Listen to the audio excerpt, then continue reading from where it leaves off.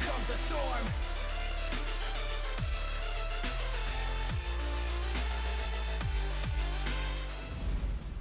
What's up, you guys? It's Dmachine again, and I'm bringing you a second episode of Know Your Enemies.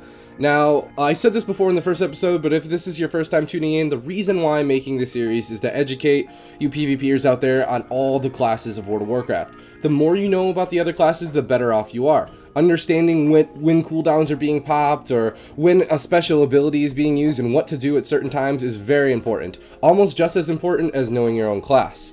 Um, but first of all, I'd like to thank uh, our WoW, the subreddit on Reddit. They uh, they helped me a lot. They supported me. They supported this whole idea, and they also gave me some really sound advice. So shout out to uh, the subreddit r wow. If you guys don't know, uh, check it out. If you play World of Warcraft, they have everything. They have just about anything you can think of on that subreddit for World of Warcraft. It's reddit.com slash r slash wow. Check them out. And uh, but this time around, I'm going to be talking to you guys about mages. So mages, there's three different specs, right? Uh, but we're talking about PvP, specifically arena, because that's the most competitive part about the, this PvP in this game, right? Uh, so there's fire, arcane, and frost.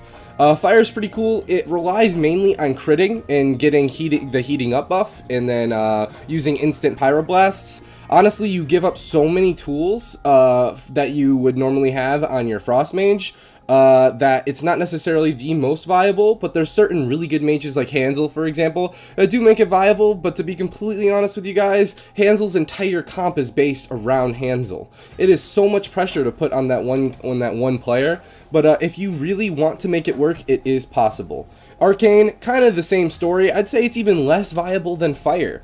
Um, you have to create these stacks, um, so you have to cast a lot. When you get these arcane stacks, you need to cast a lot of arcane abilities. And after you get these stacks, you're able to unleash it all, and it does a ridiculous amount of single target damage. But setting up those stacks, there's just so much time that goes by that the other team can use to set up a kill on your team. Um, and when you're tunneling an arcane mage down, they're just about rendered useless unless in the hands of a really good mage like Mitch Jones or maybe ABN, sorta. and then finally there is Frost. Frost just has so many abilities. They have so many snares, they have so many procs, they have so much damage, and it's just so obvious how much more dominant this spec is over the other two. And I would recommend it to anyone. Um, if you really enjoy Fire or Arcane, I don't say give up on it, but I would say use Frost to understand the game better, and then switch to that later on. That is my recommendation to you, but uh, Frost right now is definitely the most viable. So, first things first, defensive cooldowns of a mage. Uh, I mean, there's the very obvious Ice Block.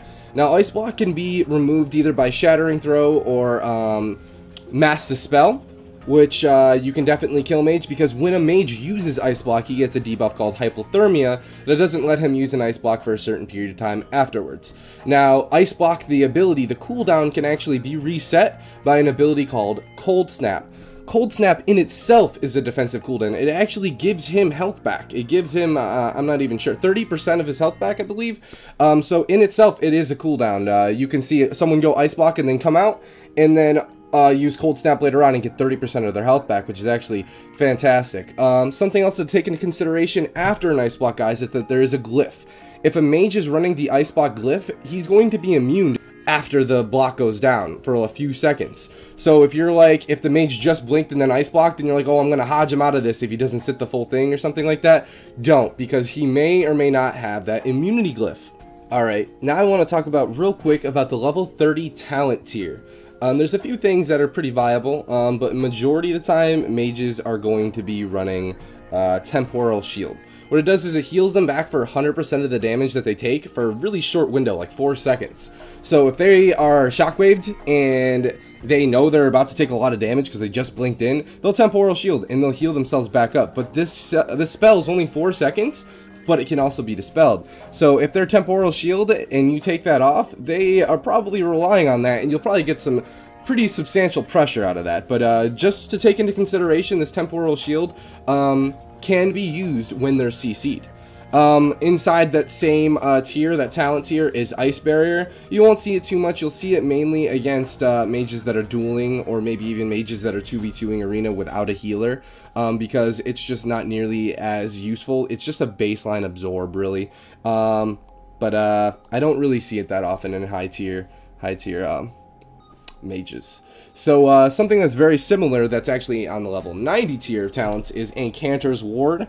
Um, it's very simpler, simple, or similar to temporal shield uh, it's a it's an absorb though so for example the damage that happens to the mage is absorbed but then also healed um, so that's nice, right? Uh, I also see this when this uh, ability is down, it increases their damage and increases baseline damage. It's actually a really good talent, not just for the absorb, but a lot of mages do run it when they know that they're going to be uh, when they're going to be tunneled. So Ring of Frost. Now Ring of Frost can be used in multiple ways. It can be used as a CC. It can be used as a defensive ability, and it can also be used as an offensive ability.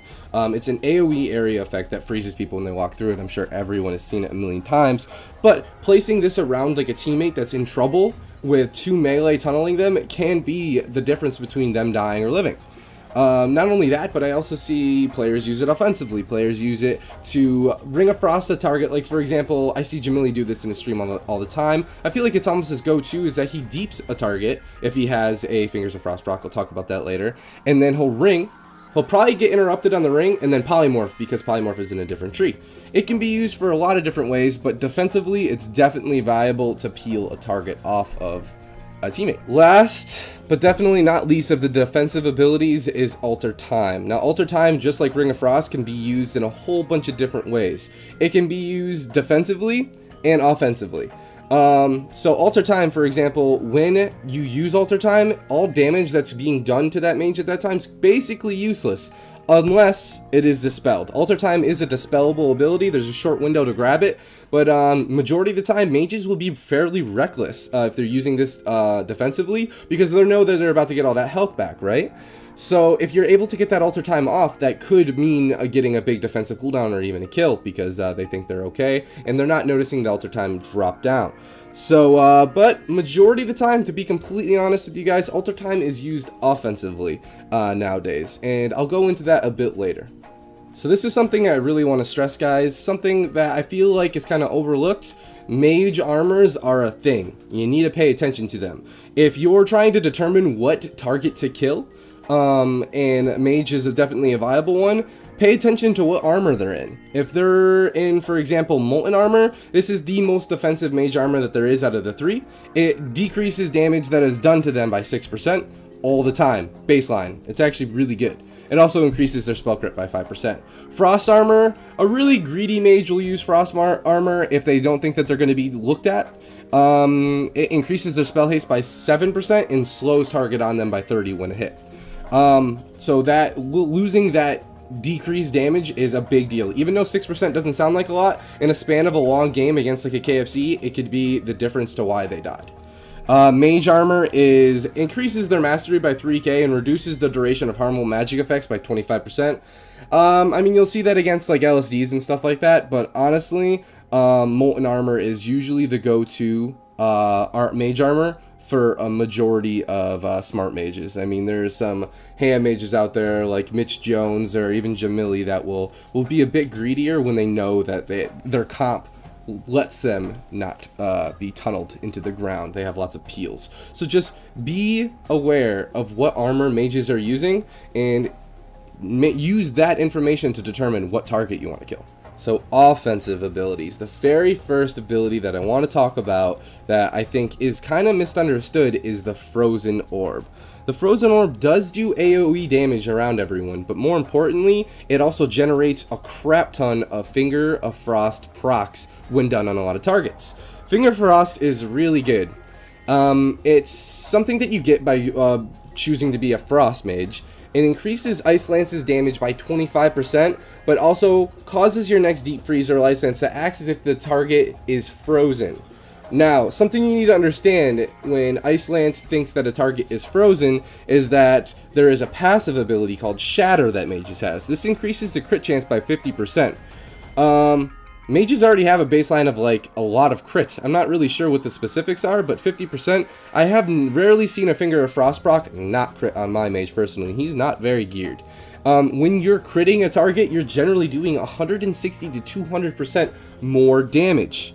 This is why I was talking about um, the Hunter's Pet Sac before. So if you Pet Sac someone and they're not getting crit, they're losing out on 200 to 160% less damage. That's a lot less damage. So when you see orbs and Finger of Frost procs going off and a Hunter Pet Sacs that target, um, they usually switch targets because it's not even worth going on them anymore. Not to mention, it's a 200% and 160% extra crit damage from the Shatter passive on top of the 25% that the Fingers of Frost baseline gives you. It's an absurd amount of damage, and you just need to be aware that the orb is also generating these Finger of Pro Finger of Frost procs.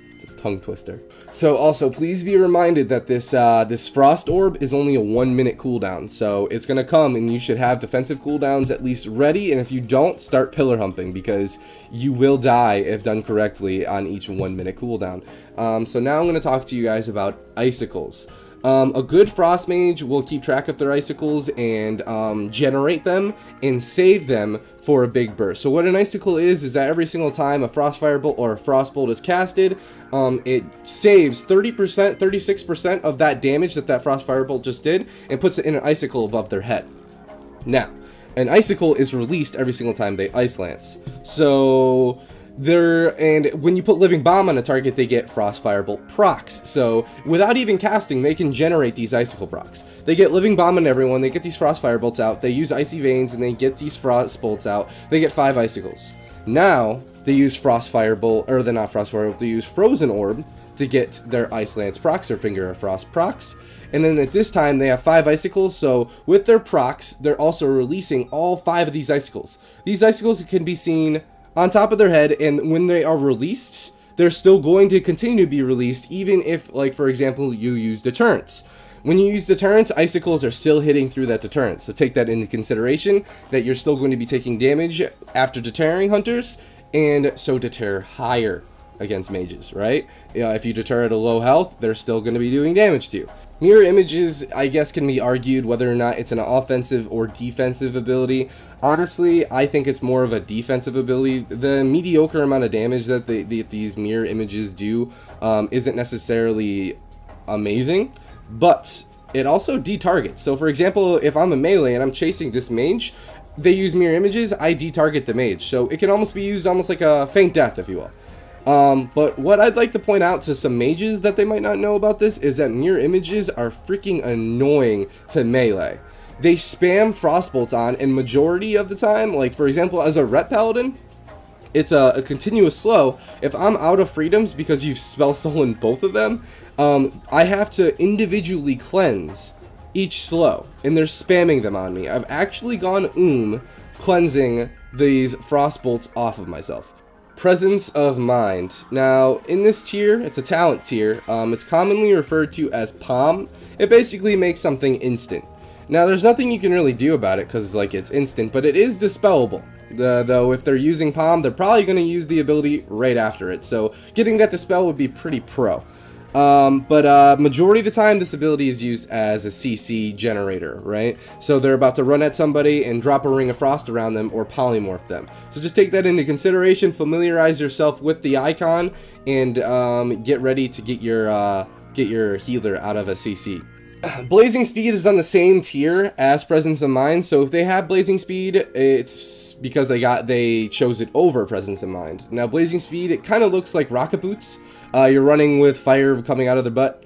Um, so, I mean, Blazing Speed can be used offensively or defensively, but majority of the time, I see good good mages using it defensively. Like, they know that they're about to get tunneled by double melee, so they want to have another ability other than Blink to get away from them.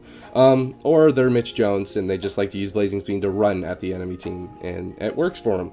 So, it can be used in a whole bunch of different scenarios, but just understand that if you see that Rocket Boots coming out of the mage, it's because they don't have POM, and they're going to be having to hardcast a lot more. The importance of the water elemental, I feel, is severely overlooked. Um, talking about Fingers of Frost earlier and how much damage it really does, um, this elemental basically generates at least one Fingers of Frost proc every 25 seconds, and it can be killed very easily.